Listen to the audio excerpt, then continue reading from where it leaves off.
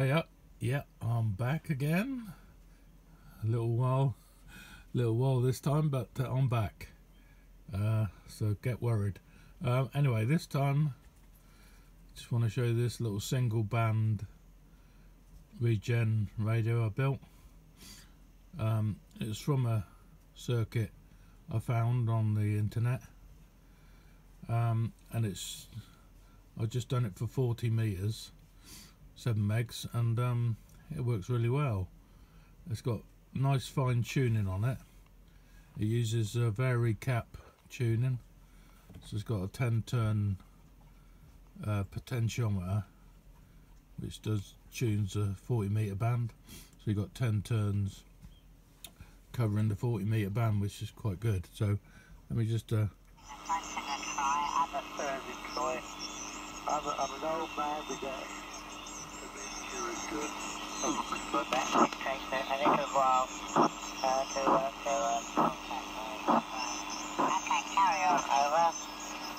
Yeah. You're five and nine there, Rob. Could you give me a signal report for the log, my friend, David? Yeah, anyway, that's just a net going on 40 metres. It's um, just gone half five in the evening. And, uh, yeah, uh, but um, I wound the coil south as you can probably see. Uh, it looks a bit of a mess but it's not too bad. It's on a bit of PVC uh, tube hose pipe stuff you know plastic tube. Um, there's two coils L1 and L2 in the circuit and uh, um, anyway uh, L2 obviously well you, you got to get the right amount of turns to get for for the uh, the band you want to cover. Um, but anyway, this it had the turns already on the um, in the instru you know in the uh, diagram. So uh, anyway, I've done it, got and uh, yeah, worked straight away really. Um, to to cover right to the end of 40 meter band, what I've done a little mod to it, as I do. Um, I put a little nylon um, there's a little nylon nut there which I hot glued into the top of the uh, the former where the coil is. And uh, I, have got a steel screw that obviously fits that nut. And I can just turn that down in into the coil. And obviously that increases the uh, um, increase or lower lowers the inductance and increases the frequency and uh, I'll get to the uh, I can fine tune it to get to the top of the 40 meter band uh, you know 7.2 megs. And there's a little uh, trimmer cap on there anyway which uh, uh, brings it in range. But just for fine tuning I added that little screw on top and that's quite works quite well. Nice. Um, I also added a little preamp there, little LM386 amplifier preamp, which goes to the uh, jack socket on the back, and that feeds my uh, that's a bench, a bench amplifier I made, test amp, and that's got a preamp in there, one of the same amplifier as that in there, as well as the main uh, amplifier, just about two watts or something like that and so it's got plenty of gain which is handy for, handy for uh, signal tracing and uh, and uh, I've got another radio here I made which is that one. That one that one hasn't got any preamp in it so it's very low low output. But into that amplifier it uh, it works fine because it's got the gain on the amp. But I may put I may put one of these little lamps preamps into into this one as well. They run off the um, the 9 volt battery, only use a few milliamps, so uh, you know it wouldn't wouldn't drain the uh, 9 volt battery too uh, quickly, you know. But anyway, uh, yeah, so. Hi. Hi, uh, 20 over with me from Kevin Mike Zero Kilo Victor Kilo, you good? I, I just love the fine tuning on it. It's, it's, it's just like tuning a really expensive, you know, sideband receiver, you know, which has got very fine uh, tuning, you know. Not just to inter- But th- this only uses two transistors, two N double two double twos, one there, and uh, one there. Um, and then the other bits, you can see it's not a lot to it, but the uh, yeah, the actual design is it's called the Sputnik. It's on the internet. Um, you know, and uh, I found it on Pinterest, but. Uh, yeah, so I just thought I'd have a go at making it, and uh, yeah, really pleased with it. But you can wind different coils to cover the different bands, you know. I have made another one, which is over here, which is in the prototype stage, and that it's got a 20 meter coil on it.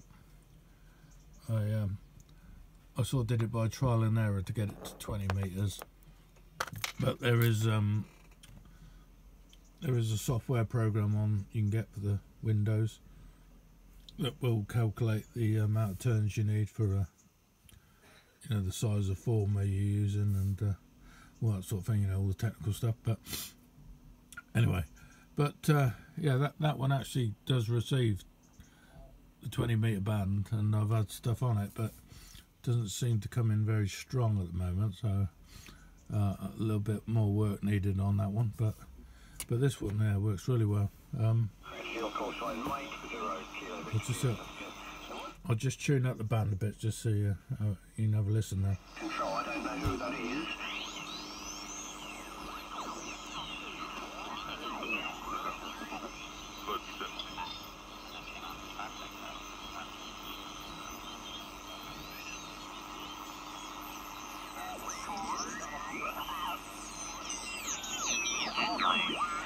What is going on? CQ 40 meters, CQ 40 meters, CQ 40, CQ 40. Mexico, 0 kilowatt radio airplane. Like Zero Kilo Radio India. As you can see, the tuning is very nice and fine and works really well. Um, it uses um, a couple of diodes there and um, just al- and you alter the potential to the diodes with the um, you know with the 10k uh, tuning potentiometer 10 turn one and um, and that in turn alters the uh,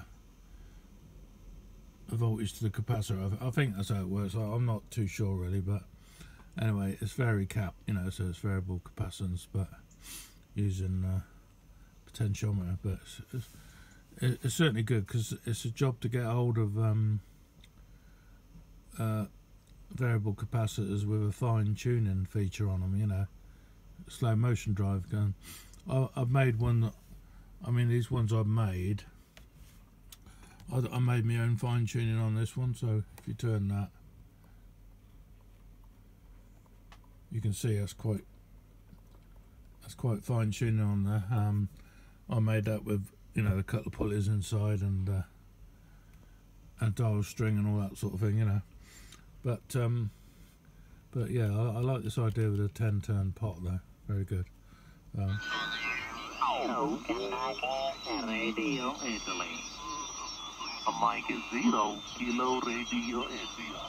CQ 40. as you can see, it's very nice and easy to tune. And considering it's a regen radio, it's quite amazing. So anyway, just thought I'd show you that, the latest in the uh, lineup.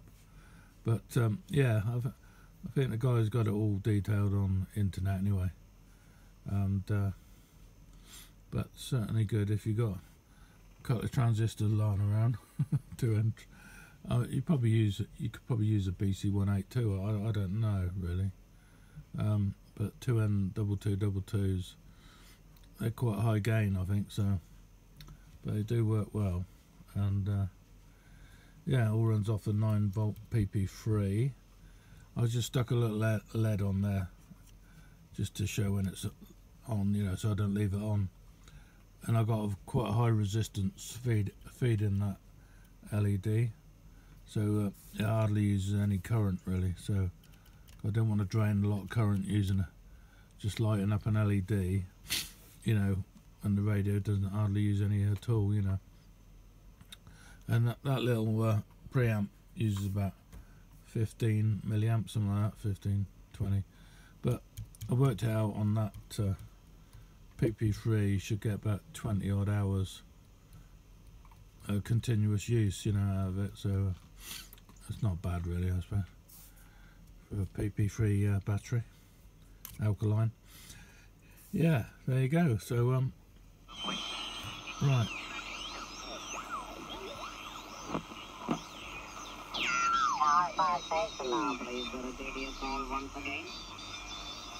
So um, yeah, there you go. Um, that that amplifier I built, test amp, from my bench, is is the uh, amplifier stage out of a, an old Bush radio I had, which wasn't any good the radio. So I just kept the amplifier and the speaker out of it,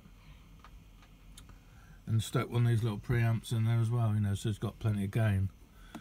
I've got different inputs on it. You know, the uh, BNC uh, jack you know, three and a half mil jack, which is what I'm using at the moment, and a couple of banana sockets.